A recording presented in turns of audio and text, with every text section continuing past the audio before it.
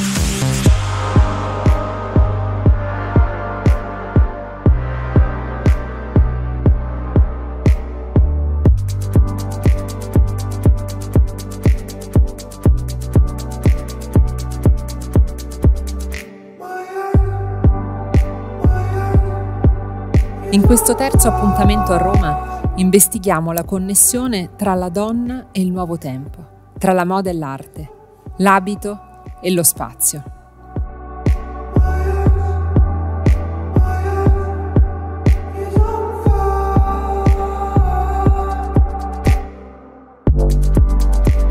Ho mutuato da mia madre Laura la passione per il futurismo e per Giacomo Balla, per i colori e le forme energizzanti, per le geniali intuizioni avanguardiste.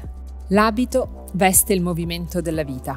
La moda deve anche coltivare i giovani, immaginando che le idee abbiano costantemente bisogno di quell'enzima di freschezza e fantasia, portato dalle nuove forze e dai nuovi talenti, che interpretano la moda come una passione gioiosa, fatta di responsabilità ed educazione al gusto del bello.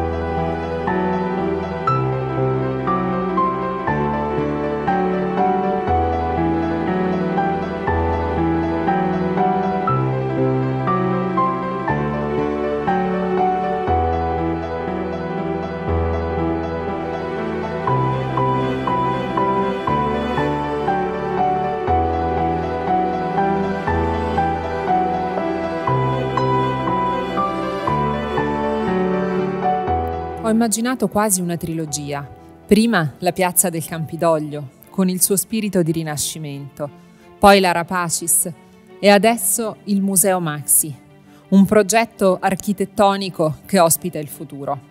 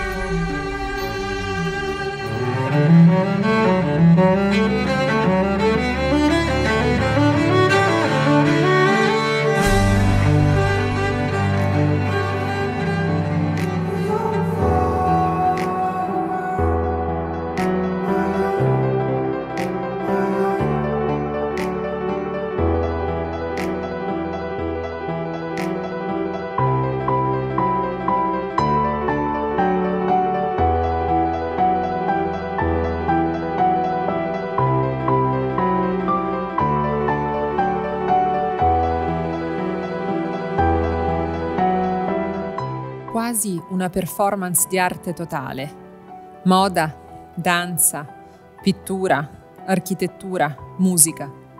Il connubio arte e moda è la nuova forma di cultura artistica che appassiona ed entusiasma il pubblico. Reinventing the Universe.